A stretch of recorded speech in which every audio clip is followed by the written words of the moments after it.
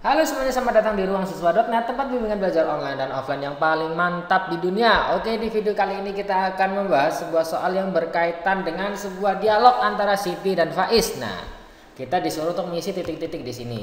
Kira-kira mau dikasih June, Januari, March, atau Mei. Nah, kita baca dulu.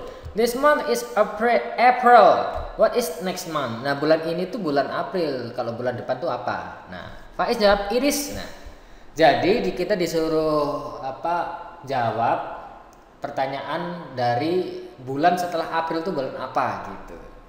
Nah, setelah April kan gini urutannya kan Januari, Februari, Maret, April, Mei. Nah, setelah April, Mei. Nah, di dalam bahasa Inggris Mei itu bahasa Inggrisnya apa sih? Nah, Mei itu dalam bahasa Inggris adalah Mei. Jadi jawabannya D. Begitu ya. Oke, mudah-mudahan bisa dipahami. Sekian untuk video kali ini. Jangan lupa like dan subscribe dan tulis di kolom komentar kalau ada yang mau ditanyakan. Sekian dari saya. Sampai jumpa.